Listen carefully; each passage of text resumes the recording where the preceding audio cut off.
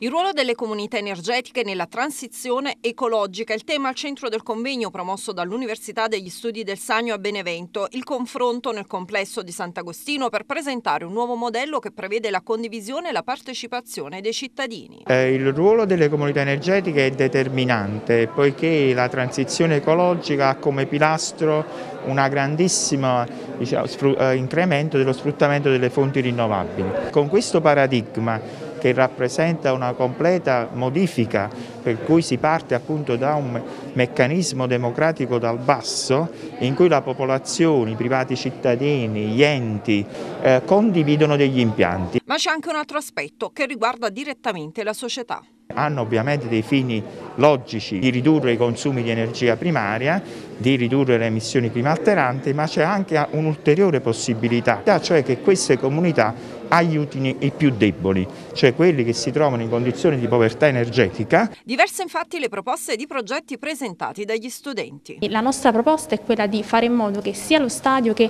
la comunità circostante, in particolare il progetto prevede circa tre scuole che potrebbero usufruire della comunità energetica e quindi condividere i carichi. Un esempio di comunità energetica che si è formato è quello per, di Ricco Massimo un piccolo comune in provincia di Trento in cui la locale cooperativa elettrica storica ha portato alla realizzazione di questo nuovo impianto fotovoltaico a servizio di circa 50 famiglie all'interno di questo comune.